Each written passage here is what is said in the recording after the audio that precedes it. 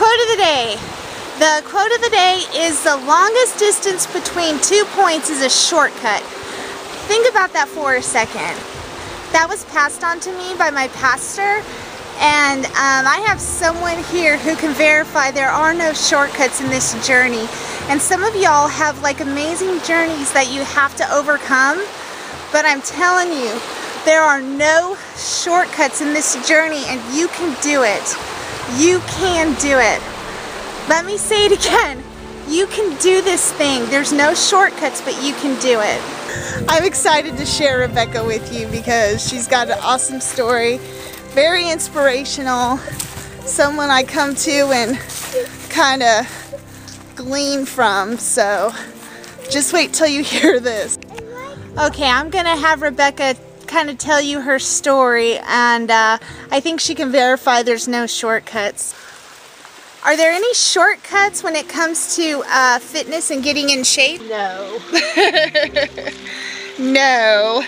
And Rebekah would know. Rebekah, what did you start your weight out as? 253 pounds. Oh my gosh. What size were you? A 22. A 22. What size are you now? A 4. That's so awesome. In the middle of this process, you were pregnant, huh? Yes. And you still went after it. Yes. Were there any shortcuts? No. Was it hard? Absolutely. what did you do? Did you go on any pills? No. you were pretty much hardcore? Yes. Yeah.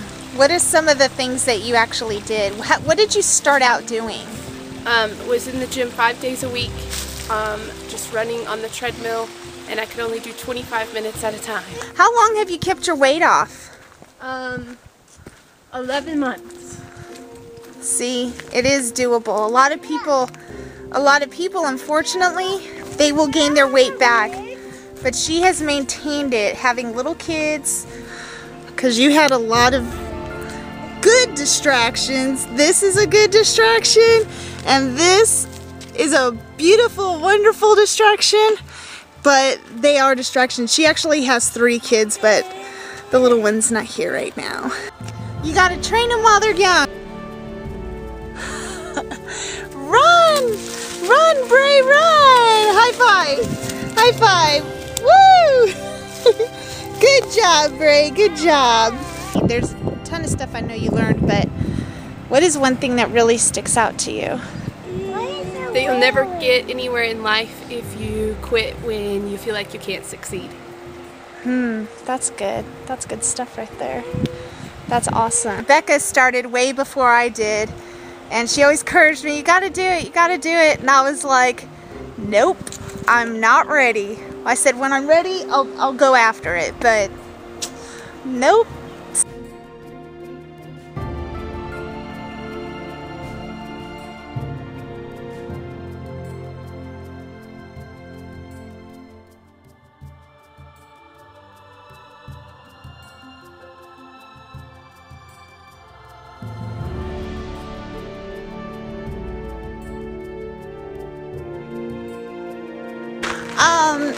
Have to tell you something I totally need to tell you.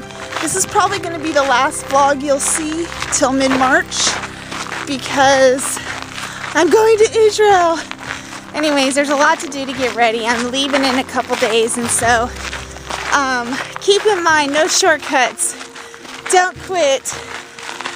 God hasn't forgot about your dreams. And I'll see you about mid-March. Bye-bye.